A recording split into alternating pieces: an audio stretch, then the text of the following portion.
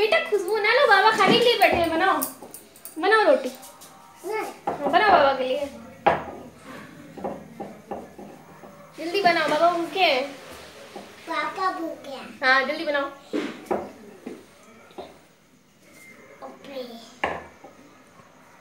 छिपा दिया कोई बात नहीं। बनाओ।